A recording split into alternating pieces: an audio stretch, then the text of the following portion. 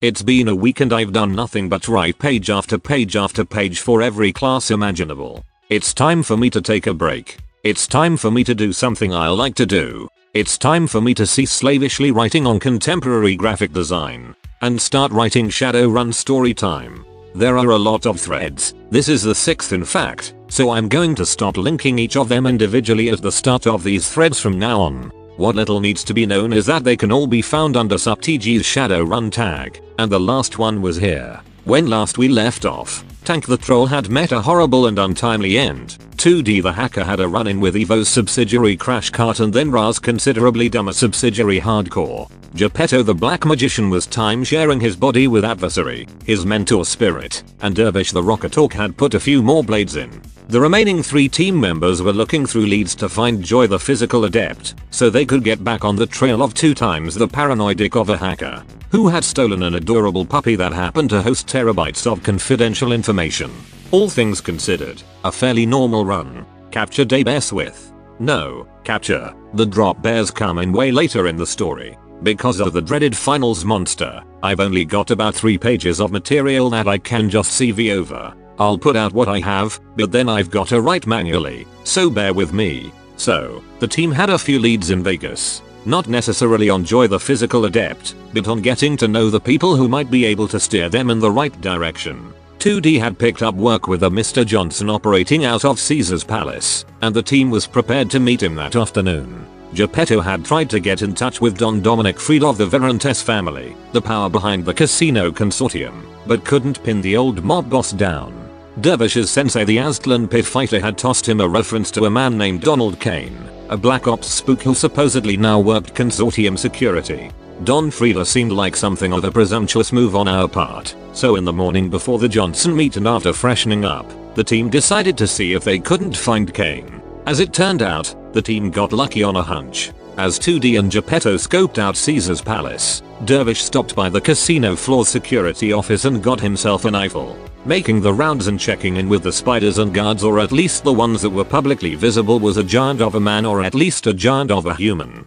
His tailored suit unable to conceal his barrel chest and Chris Redfield biceps. Donald Kane was old, his wrinkles obscuring the faded ink of military unit tattoos, and he sported a big ol' handlebar mustache. He had worked Black Ops in Bogota for years running security for all of the major casinos on the strip was still probably like a luxury dream retirements for this guy. His name tag read Security Chief Roger Larson. Dervish approached and, in what might have been a minor mistake, asked, Excuse me, Mr. Kane? Kane's fingers twitched instinctively, reaching for an assault rifle that wasn't there.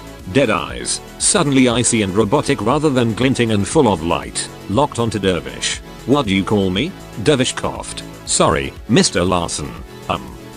Sensei sent me, said you'd know him. Larson Kane's eyes narrowed. His frown showed teeth, an instinctive sign of primal aggression. I don't know any yaks, boy. Must have me mistaken for someone else. Dervish clarified. Sensei Isento Yakuza. He's Mexican. A former gladiator. As old as you. Covered in prison tattoos. I think his real name is Jose. And, in a split second, Donald Kane was back to a grinning, jocular older uncle figure. He chuckled haughtily, grabbing Dervish by the shoulder. Well, why didn't you say so? And fair the record, kid, his real name ain't Jose. Least, that's not the real name I know. Could be the bastard's gone soft.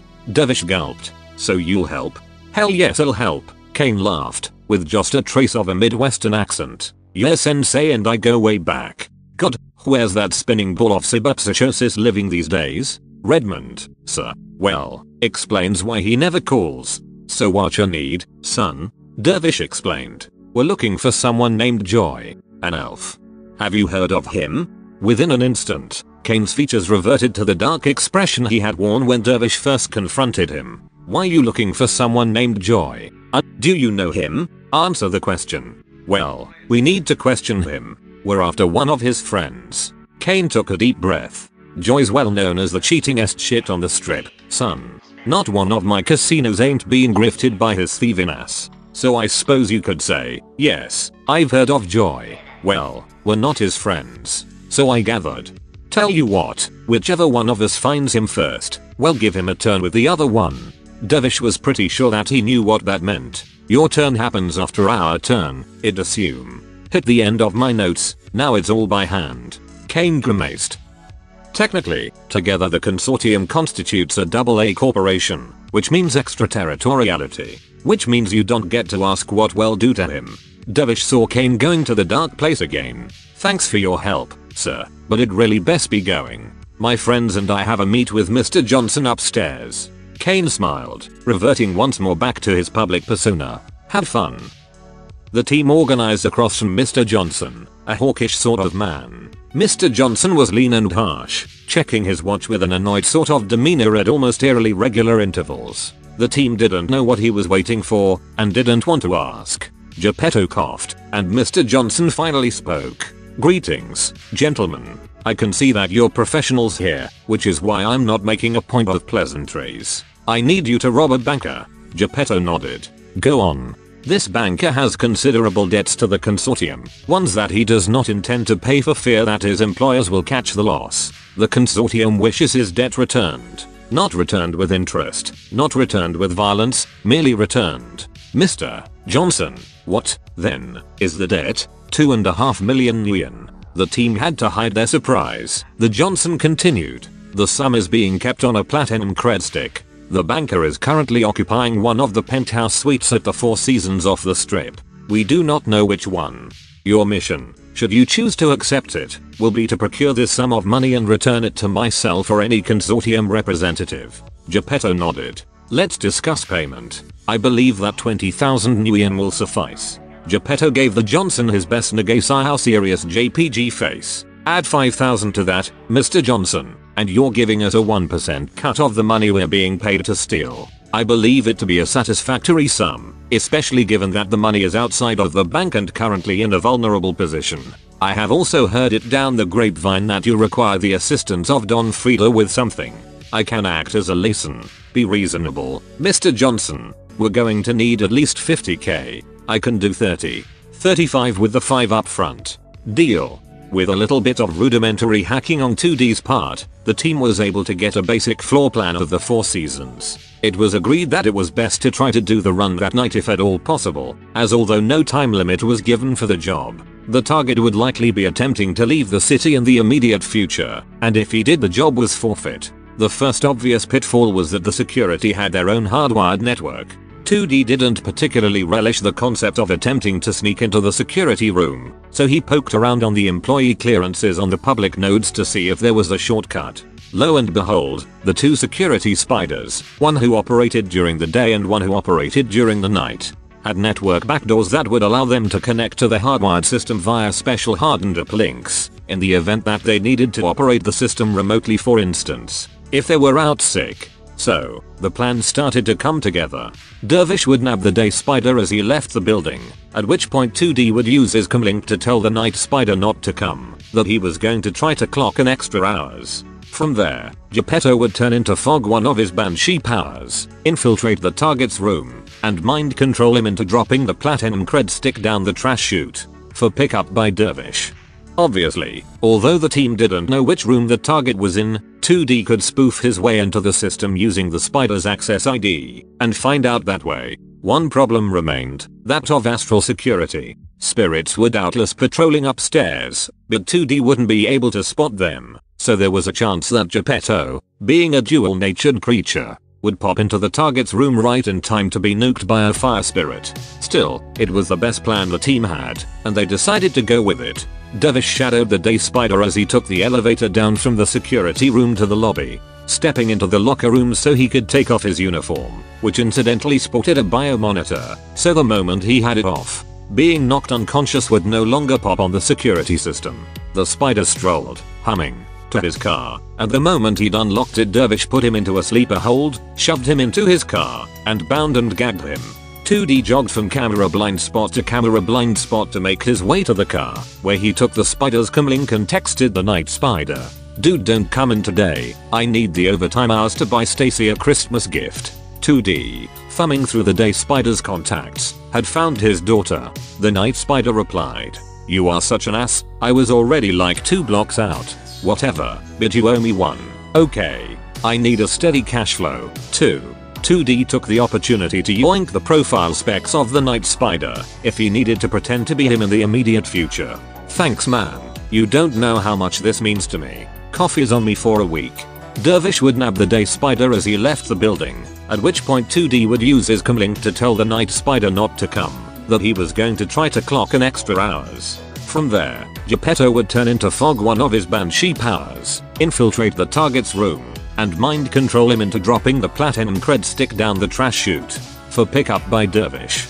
Wouldn't the night spider already have arrived by the time the day spider left, for changeover? Not to mention, a sudden change of hours on the same day when you don't know if that is at all usual, and with short notice. Well, guess I'll see how it played out. Also unsure why the last part couldn't be done without the security system being down, but there you go. With a quick go time to the team, 2D spoofed the profile specs of the Night Spider and backdoored into the security system, posting a message of caught in traffic, setting car to auto and running things from here until the jam clears up. Don't worry guys, I'm here. He received a few dull acknowledgements from some security guards on the network and proceeded to begin scoping out the hotel security layout. There were tactically network security guards on each floor and a single TAC team just below the penthouse level to be deployed in the case of emergencies like, say, high profile robberies. Pretty standard. The problem was the on-staff mage, who had a spirit rotation going through the penthouses, just as 2D had feared. He couldn't even peg the spirit's patrol routes, as spirits are invisible to cameras when manifested. I don't like these odds, Geppetto remarked to the team. Having turned into gas in the elevator and then ghosted his way into the penthouse vent system with 2D carefully opening necessary vents and stopping spinning fans for him. 2D agreed. Yeah, I don't like those odds either. Lem see if there's something I can't do to distract the spirit. Wouldn't the night spider already have arrived by the time the day spider left? for changeover? Not to mention, a sudden change of hours on the same day when you don't know if that is at all usual, and with short notice. Should have clarified, we checked the check-in times of the two spiders, and they were fairly sporadic. We guessed that the two of them did this a lot, which is where we got the plan from. They also both lived in the neighborhood, only a short drive away, so times weren't super stringent. There was a window of a few minutes, which is unprofessional, yes, but this was a Four Seasons, not a megacorp. Also unsure why the last part couldn't be done without the security system being down. But there you go. The ventilation system was a problem, but also 2D wanted to get into the security system to counter the astral security. It was the one thing that could fuck Geppetto completely arbitrarily, since he'd have to manifest himself to see the spirit, giving away his location. 2D relocated himself to the cafe on the first floor of the hotel to better coordinate with Dervish in the basement and Geppetto at the penthouse level. The cafe was set as the rendezvous point for Dervish and Geppetto upon the completion of their roles in the job. Absently chewing on an over-expensive salad, 2D dead the target's penthouse the target was sleeping fitfully, then checked the security feeds from the other penthouses. Penthouse 1-1 had a corper family, Japanese by the look of them, sleeping. No dice. Penthouse 2 had a single elf reading a book. Again, no dice. Penthouse 3 had two SimSense stars whom 2D recognized as a reality show Guido and a porn star going at it like bonobos. He could work with this. 2D tossed a message to the security mage. Spider hey, Mike, remember how we had that bug last week on the cameras up in the penthouses? Mike not really. That's for you two spiders to work out, not me. Spider well, it's still stuck in thermo, and I'm getting these weird feeds from page 3. It looks like some kind of fight. Can you direct the spirit over there just to be sure? Mike sure, whatever. 2D promptly connected to Geppetto's earphones, with the cry of go, Mathefica, go. Geppetto dropped out of the vent into the banker's room and hammered him with a body puppeting spell. Still asleep, the banker instinctively punched in the combination to the room safe, produced the platinum cred stick, and tossed it down the trash chute before returning to bed. Mike Jeff, you idiot, they were just fucking in there. Like they were last night, and the night before. Spider dude, they really need to fix this bug. Mike you're an idiot. Returning to patrol at P4. 2D sent Geppetto another message, this one to the tune of get out get out get out. Geppetto didn't need much encouraging, and flew back up into the vent, following the ventilation system down to the cafe men's bathroom. He emerged from the restroom adjusting his tire, as though he'd always been there, and sat at 2D's table. The deed is done. Badass. Just gotta wait on Dervish, then.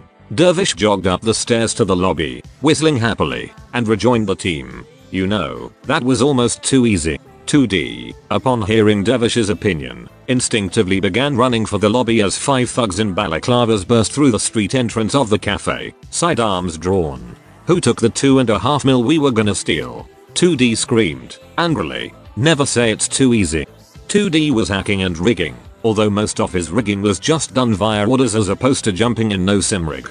At the start he wasn't particularly impressive. 2 body, 2 strength, 2 agility, 4 intuition later 5, 3 logic later 4, 3 willpower, 3 reaction, 6 resonance with a few submersions under his belt later 8. Most of his relevant hacking skills were 4S, and most of his complex forms were at 6 when he could manage. As for requiring cyber combat for hacking, that's bullshit. Hacking is always a hacking exploit role. You can either choose to do it as an IP test extended test, but the device rolls to detect your stealth program complex form every round, or to do it as an hour test extended test, but the device rolls to detect once. Commonly referred to as hacking on the fly versus probing a node, cyber combat only ever becomes relevant when if you're detected, and even then only if they sick icy on you instead of booting you from the system. That said, and I'm going to be completely honest here, mundane hackers are statistically better in almost every way to technomancers. The three things technomancers have up on hackers are A they're way cheaper monetarily,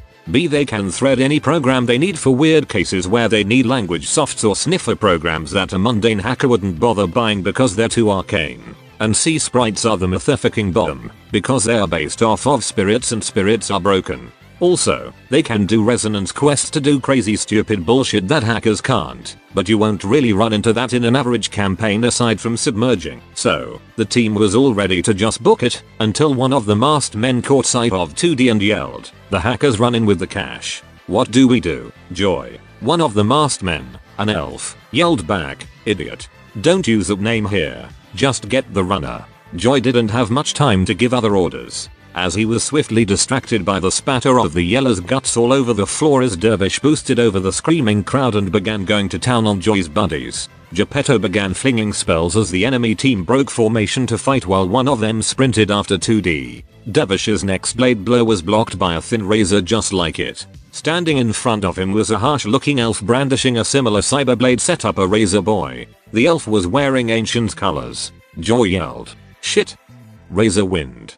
Get him, and beat feet out of the building, with Geppetto struggling to keep up while under fire from the remaining gunmen. What sort of matrix work were you focused in? Also curious as to whether you did more rigging work matrix work, and which you focused on more and lessons learned from that. 2D belongs to the Dronomancer stream, which is a Technomancer tradition that primarily offers rigging bonuses. Thus, with the rigging angle shored up, I was free to develop him as I wanted in the hacking direction. Since most of the team's plans revolved around a lot of legwork and then a sudden burst of action, 2D was mostly geared towards hacking on the fly, with a high power stealth complex form with mute functionality to compensate for the increased chance of detection. I also gave him a bunch of cyber combat goodies like Black Hammer, armor, shield and attack because focusing on hacking on the fly put him into the line of fire a lot more than probing nodes. Geppetto was the first to notice that the enemy gunmen were using Stick-n-Shock when a tiny micro taser hit his leg and nearly blacked him out, flooring him. Cursing,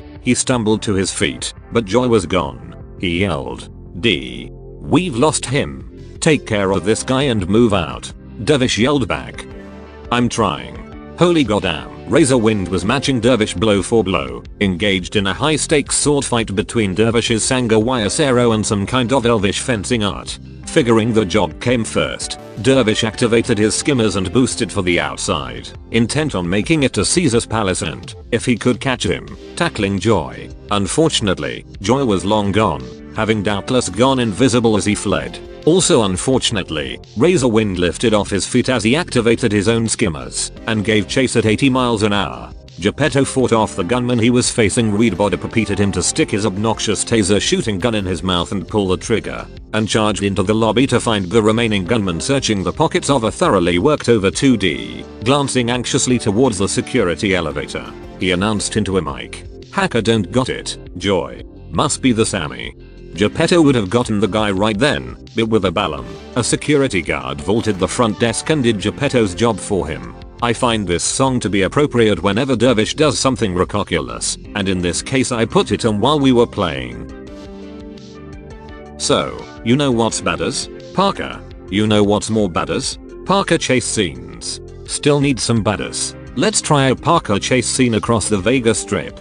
Nah, not baddest enough. A parkour chase scene where the two participants are sword fighting when they catch up to each other. Better, but it still needs a bit more. I'm thinking Wolverine knife hand fighting.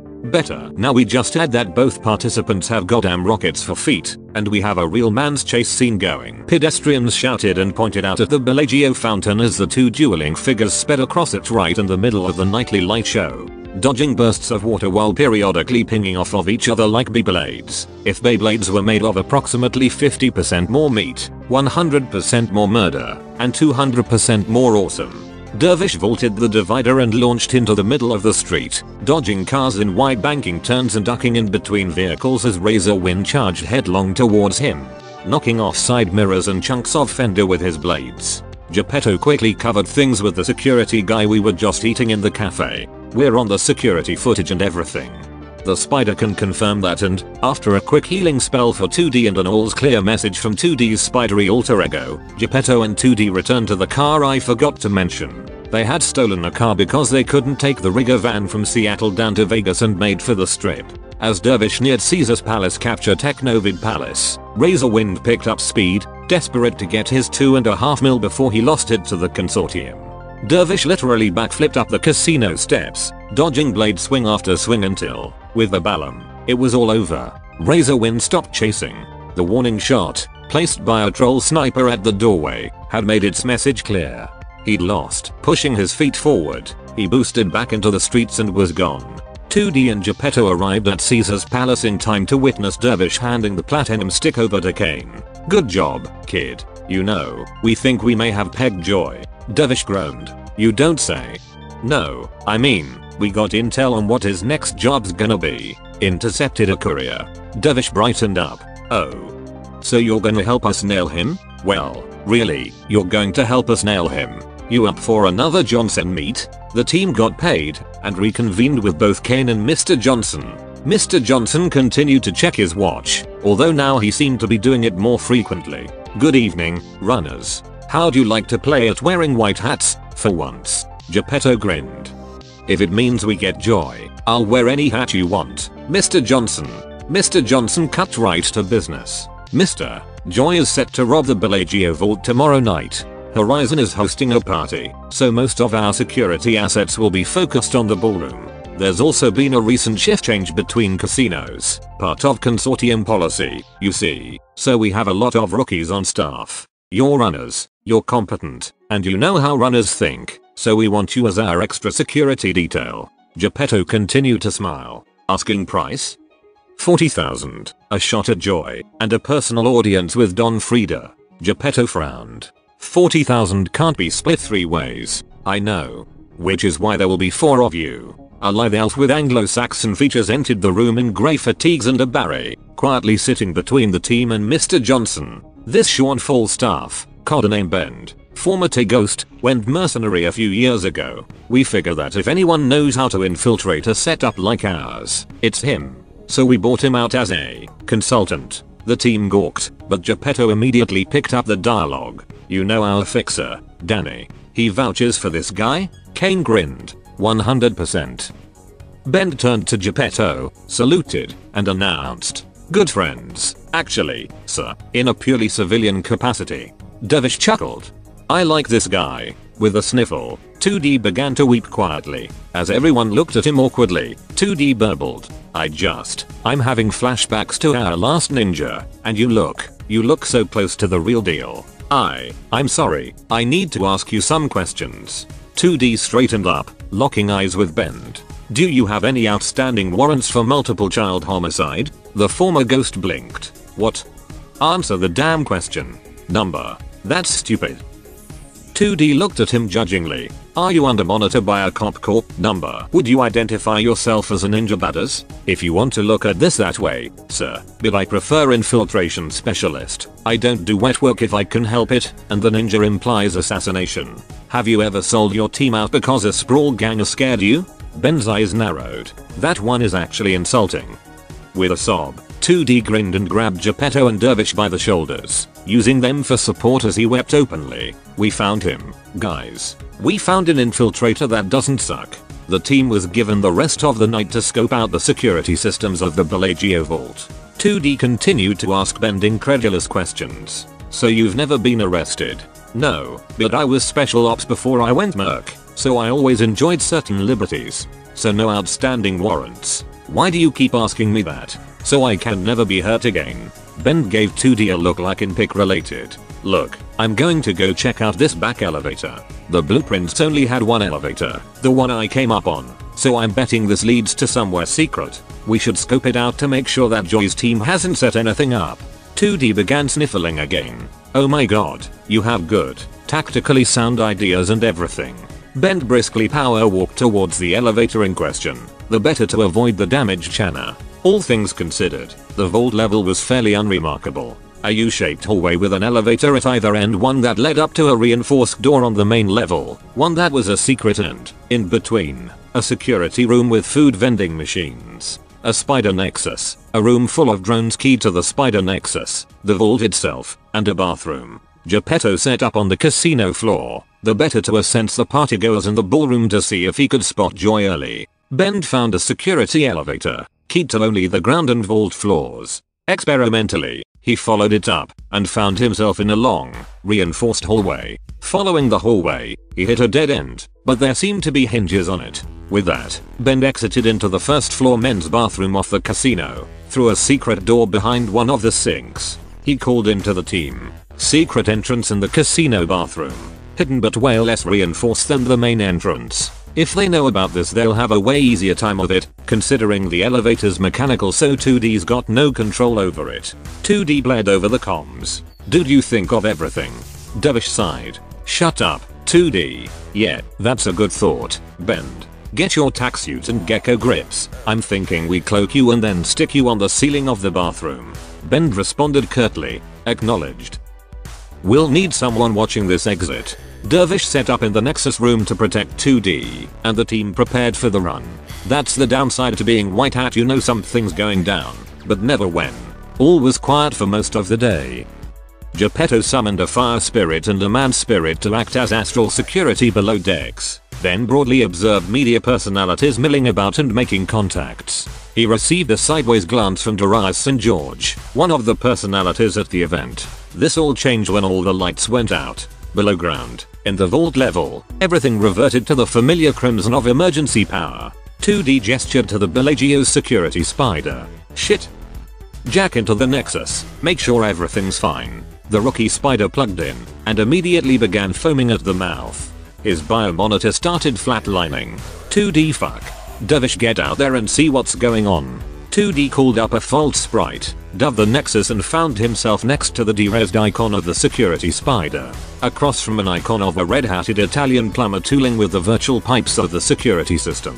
Activating his black hammer complex form, he announced, bomb-headed icon grinning manically. Oh, it is on.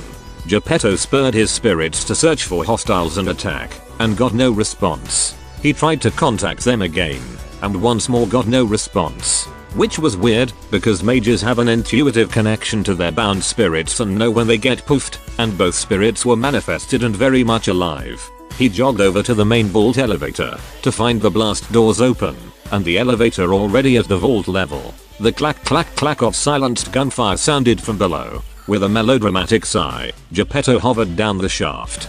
Down below, Dervish exited into the hallway to find a troll in a security uniform emerging from the vault with a backpack full of something, while a human in combat armor dual-wielding silenced SMGs covered his back. Perforated security guards littered the hallway, no match for the gun adept. Dervish figured that he'd be a bit more his speed and activated his boosters. In net space, 2D tossed digital bombs at Mario Hacker while setting the node's IC to lock the bastard in the system, wherever he'd come from. This fucker was his. That is, until he saw the entire environment derezzing around him as a third, cloaked icon began crashing the node. Recognizing the stink of two times bastard 2D quickly jacked out before the node crashed, with Mario Hacker and his fault sprite locked in it. Mario Hacker was a good thing. because the fucker had some serious dump shock in his future and couldn't jack out because of the modded blackouts that the IC were hammering him with. The fault sprite was a bigger problem, since 2D's fault sprites were never on quite good terms with him, and one of them had just had its connection severed from him, freeing it into the resonance. This would require later attention namely finding and killing the little bastard in the resonance before it could go full free sprite and put a name to its hated former master. But right now Mario Hacker was the greatest issue. 2D exited the now ruined Nexus room and, in a hunch, checked the bathroom. There he was. A fat neck bearded bastard who looked like he spent too much on V was lying face down on the bathroom floor with his data jack adapter still plugged into some exposed wiring that he drilled out of the wall between the bathroom and Nexus. The dude was out cold, having suffered the full effects of a dump shock. Next to him was a tasteful potted plant with gold flecks in it, for some reason. 2D put his poser combat boots to their roughly intended use and began to stomp on Neckbird's head until he started hearing snaps. Who's jumping on whose head now you goomba bitch? Breathless, Geppetto stumbled into the room and sternly lectured the air. Oh, you have got to be killing me, you too. 2D looked at Geppetto quizzically as the fire and man spirit manifested, both completely stoned off their asses and giggling to each other. Dude, the man-shaped column of infernal fire announced. Dude, agreed the slender mockery of all that is man. Who's jumping on whose head, rather. Dude, why are your spirits completely fucking bombed? Geppetto took one look at the tasteful potted plant, cursed loudly, and began stomping on it with his fancy loafers. God damn it 2D, you're wearing boots? Help me out here. Confused, 2D proceeded to stomp his blood-stained boots on the plant, strewing pottery and plant matter everywhere. I'm not getting any closer to understanding this. Geppetto grunted, continuing to kick at the plant.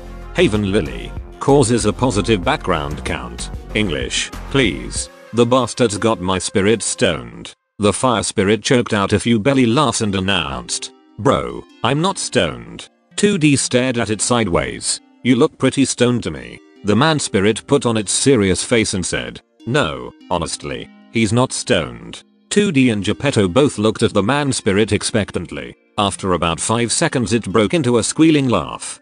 Fcuz he's a fire spirit so he's baked. The man spirit and fire spirit high-fived and promptly collapsed into hysterics. Geppetto Fassa palmed with a warp noise. Great. They're completely fucking useless like this. Meanwhile, in the hallway, Dervish was picking bullets out of his orthoskin while scraping the gun adept guts off of his saber blades. As the troll retreated into the secret elevator, Joy materialized long enough to hit the up button. Unfortunately, the system was purely mechanical, so Dervish wasn't able to make it before the gates closed and the elevator began ascending. In the bathroom, Ben looked down as a human wearing an earpiece and a few active foci entered and then scooted into one of the stalls. He murmured. Look, boss, I can only hold the mind control on the troll for so long.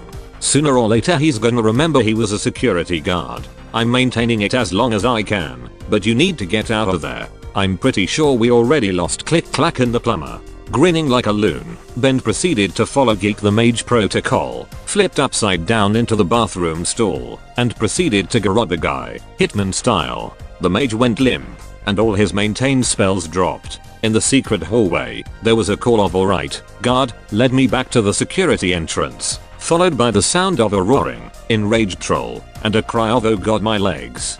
Dervish, Geppetto, and 2D ascended the secret elevator to find Ben and a very, very pissed off troll security guard putting cuffs on a screaming Joy. One of Joy's legs was snapped off below the knee, spurting blood, and he was screaming deliriously as paramedics stormed into the room through the secret entrance. Jesus Christ, muttered 2D, it's beautiful. The troll picked up the backpack and handed it to Geppetto, who gasped at the feel of an extremely high force magical item within. The troll announced, in an irate Jersey accent, gets this back to the vault. Hesterby's gonna want her focus under's lock and key. He then glared back at her swiftly paling joy, malicious glee in his eyes. Got yows, ya punk. Geppetto, as he walked the backpack back down to the vault, called up Mr. Johnson. Johnson, it's over. Returning to security rounds. We expect our credit the end of the night. Geppetto out. The next day, the team was escorted to Joy's fortified hospital cell. His leg had been reattached, although the look on his face suggested that it didn't much matter if his likely fate was any indication. Geppetto said two words. Two times. Joy grimaced. I'll tell you everything if you can promise me one thing. I'm listening. Tell them to make it quick. Geppetto looked back at Mr. Johnson, standing in the hallway, who nodded slowly. That can be arranged. Joy exhaled loudly. We have two more teammates, Mirage and Stimpak. Mirage is a Biosami, and Stimpak's a healing mage. Each of us has the codes to a satellite uplink that two times operates through, so that if we ever really needed to find him we could cross-reference our access points. He tossed a small teddy bear with a data port to 2D. Here. 2D connected to the teddy bear and found himself diving a satellite over Southeast Asia. The theme from 2001 A Space Odyssey played in his head as the sun rose in his sensors, warming his solar cores. Terabytes of broadcast data raced through his mind. In the real world, 2D came violently in his shorts and then passed out. Joy winced dully. You. Geppetto didn't miss a beat. Where are Mirage and Stimpak? Joy frowned. Haven't seen hide nor hair of Stimpak. Might have gotten geeked. Saw Mirage, though. She got out of the game. Married into Shiawase. Geppetto had a bad feeling about this. Shiawase North America. Joy laughed cruelly. Try Shiawase proper. Geppetto rubbed his temples, exasperated. Brilliant.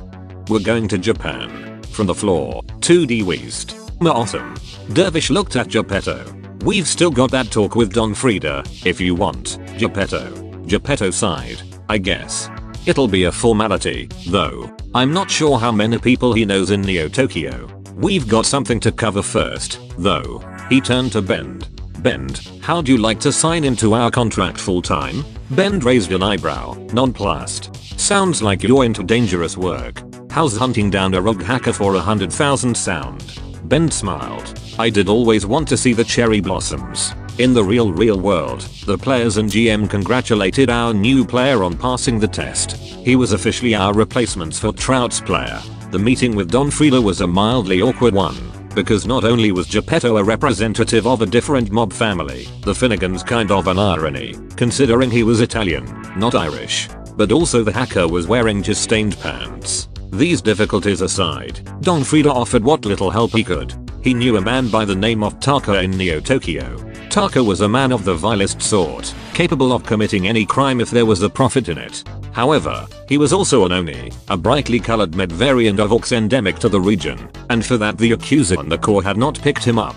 He remained a valuable contact of gaijin criminals in Japan, and Frida had no doubts that he would prove useful if appropriately greased. We were not to trust Taka under any circumstances, however. The Don assured us that if anything happened to one of Donia Romilly's faithful servants, he would be most displeased. With little else to offer, the Don greased our palms a bit more for our troubles 2D promptly used this money to buy more drones, two little manhack like unfolding buzzsaws for personal defense, while Dervish upgraded his combat armor and arranged for a flight to Neo Tokyo.